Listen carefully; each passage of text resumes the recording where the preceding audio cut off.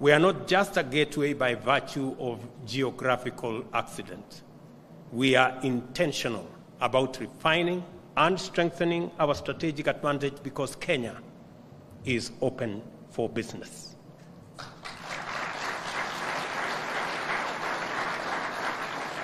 This is to say that Kenya is interested in and committed to promoting the best operating environment for business enterprises, and that our policy and institutional framework is designed to make Kenya the most competitive investment destination.